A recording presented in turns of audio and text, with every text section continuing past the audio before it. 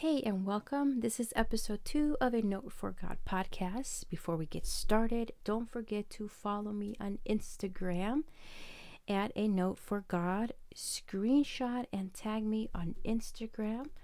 Also, don't forget to share this episode with others. I truly appreciate that. I also feel that each episode will help someone. Good news the podcast is already on iTunes. Y'all, when I got that notification, I was so super excited. Same thing, it's on Stitcher, Spotify, and I also upload the audio on YouTube. Like I stated in the previous episode, I will always end the episode with Matthew 25 23 and a segment called A Note for God. Don't forget, if you want to participate in that segment, email me at a note for God at gmail.com and in the subject line, write a note for God segment. You can also DM me and I will also put those in the podcast.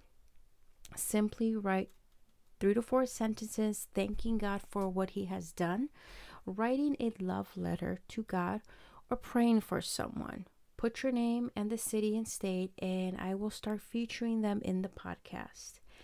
I had an amazing feedback on the first episode, which I'm super excited. I read comments that said, Your voice is so calm, your voice is so soft, you sound so good, you sound like you rehearsed a lot. Thank you, sir. I appreciate that comment, I'm going to take it as a compliment. Let me tell you a little secret. Lean in, listen up, turn up the volume. I don't always sound that calm. the reason I sounded that way was because I was recording at 10:30 at night and my kids were sleeping and I didn't want to wake them up. I recorded my office in the closet in my office with the door closed. So I didn't want them to come in here start knocking. Secret number two, I did not edit the podcast either. I simply hit record, done, and then I uploaded it to Buzzsprout, which is the platform that I use to host my podcast. And honestly, for right now, I'm not planning to add an intro. I'm not pl- planning either to pay someone to edit the podcast. It is what it is because I believe the message is important. And those little details we can do later, right? In a couple months, perhaps. Some days I will not sound so calm, relaxed, and days not so much. You never know. Stay tuned. Um, again, don't forget to screenshot and tag me on Instagram that you're listening to this episode. So let's get started on today's episode, which I am so excited to talk about this. We will be talking about Apostle Paul. What? Who is he? You might know who he is, or you may not know, and that is okay. Girl, I did not know who he was either. I'm just going to be honest. I'm not going to sugarcoat stuff. I'm not going to lie to you and say, yes, I knew who he was since the beginning. No, I did not know. I knew who Jesus was. I knew who Mary was. I heard about Daniel and the lion's den, of course. Now I know more detail of who he is and why he was there. I also had heard of Ruth and Esther. And the only reason I knew who Joseph was was because I think Disney made a movie about him. I'm being honest, that is really the only reason, right? Do not be ashamed of what you do not know. You open up your Bible and you start to read. Again, I'm here to tell you I didn't really know much about the Bible, and that's what I told you in my first podcast or my first episode. But now, what, a year and a half later, Obviously, I know just a little bit more because I'm taking time to read the Bible and take notes and take time with God to really understand scripture. All right? Paul has to be one of my favorites in the Bible. He really is. Why? Because of his boldness, his confidence. He was never afraid to face an issue head on. He didn't really care of what others had to say. He was here to do God's work. And I just love that about him. He wrote 13 books of the New Testament. You might be thinking, well, who was he then? Or what did he do? I'm going to give you the grace short notes because I want you to open up your Bible and read for yourself who he was.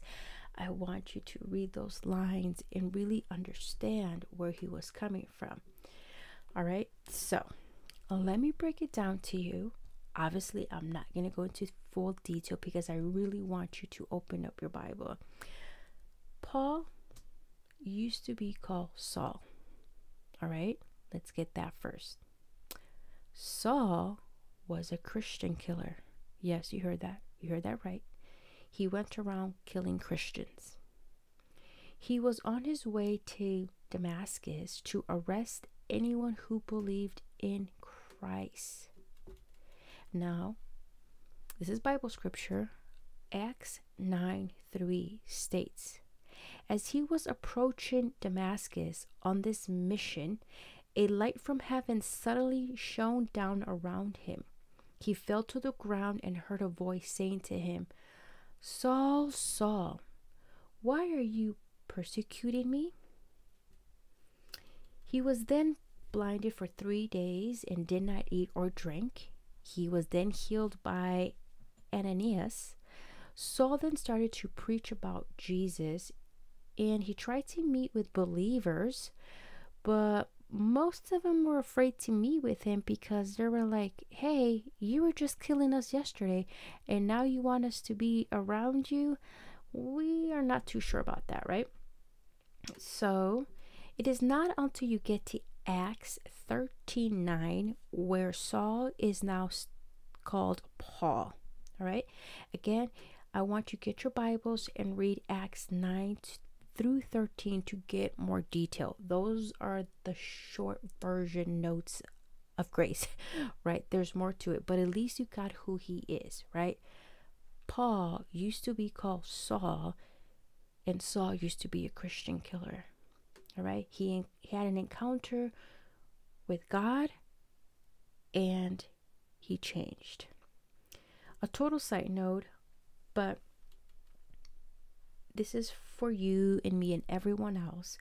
Never believe what others say about scripture. Not me, not the person that you follow on Instagram, not even your pastor, not your friend who claims that she reads the Bible all day long.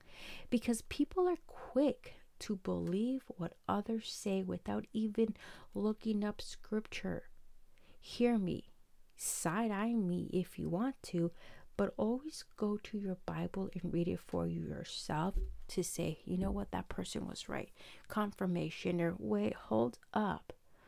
The way the person said it was out of scripture, right? So please do me a favor, always read the scripture, especially if other people are quoting it, just to confirm, right? I'm going to quote a few verses just so you can hear his boldness because I really just love the way he says certain things because he really doesn't care about hurting your feelings and not in a bad way. Don't don't take it to a bad way.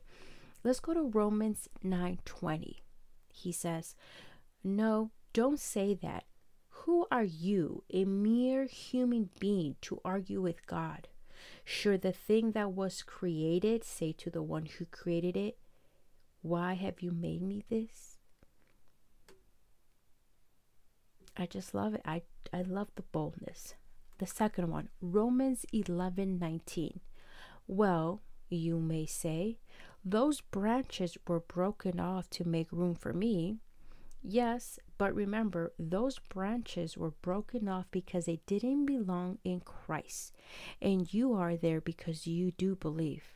So don't think highly of yourself, but fear what could happen. For if God did not spare the original branches, he won't spare you either.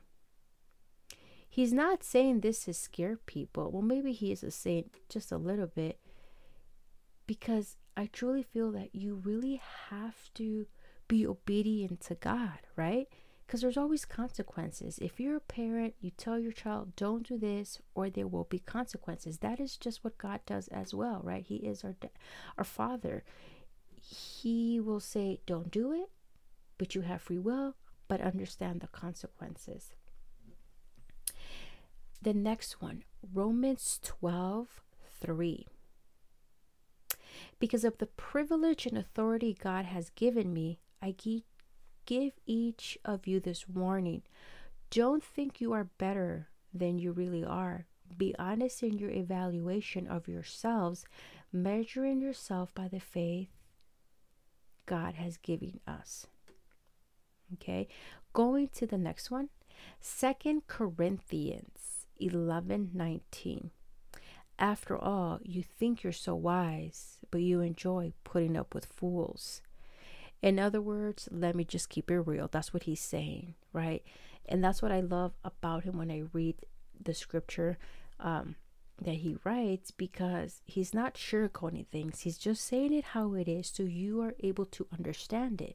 And a lot of people don't like that, right?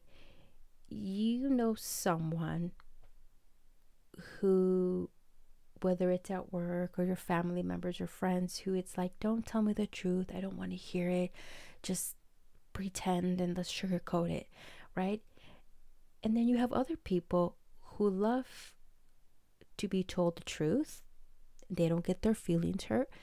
They love when people are honest with them, right? And let me go to the next one. Galatians 1 10th. Obviously, I'm not trying to win approval of people, but of God. If pleasing people were my goal, I would not be Christ's servant. This verse really touched my soul, really touched me profoundly because of what he says. I'm not trying to win the approval of people, but of God for me, I took it as I fear God. If He's telling me to do X, Y, and Z, I need to do it, right? Because I want His approval. I don't care what other people say. That doesn't really matter. I'm not here for that. I am here to win the approval of only God. I try to do something every day to make God proud right? Whether it's sharing the gospel with others, praying for others, sharing my testimony, something that at the end of the day, God is going to say, good, do- good job, well done. And the last one is Galatians 6 3. If you think you are too important to help someone, you're only fooling yourself. You're not that important. And I, I kid you not, every time I read it, uh, what he writes, it's like I smile and I laugh because I was like, I just love that boldness. This really goes back to the basic rules that you were taught as a child. Treat everyone equally, right? You treat the janitor just like you treat the CEO. Everyone is the same regardless of the position that they have, whether in a job or or you're walking around somewhere, right? You are really becoming a servant. You're really becoming a servant of other people. Uh, like I said, I love Paul's honesty and confidence. I think I, I love reading what he says and what he writes because I see a lot of myself in Paul. I am also very bold. I'm honest. I don't sugarcoat anything really. And I really say it how it is. And I never say it in a bad way or to hurt anyone's feelings. It's, let's just say it how it is, right? and because of that, I usually encounter two types of people. The one that is glad I'm honest and to the point and says, I appreciate your honesty. Wow, you're just very bold. And then the other one that looks at me like, why didn't you just lie to me instead? Instead of lying to me, right? I that's just who I am.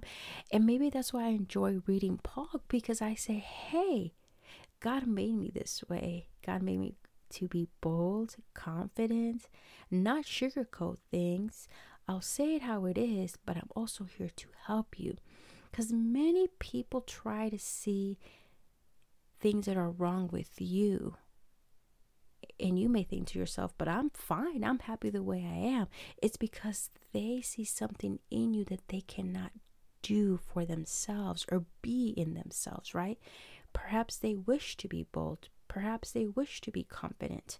And they see you and they're like, well, that's something bad, right? But it's truly not bad. It's who you are. That is how God created you to be, right? So I get so happy and so excited when I read Paul because I said, hey, if Paul was like that and he was amazing, so am I, right? Uh, I want you to open up your Bibles and read the verse I gave you and start taking notes. I really want you to read those verses and break them down and perhaps, you know, start reading the book of Acts, which is also very amazing, and then go from there so you can see who Paul was, right?